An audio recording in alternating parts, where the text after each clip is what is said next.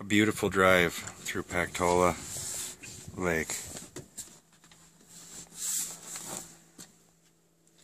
And the fuel pump fuse went out.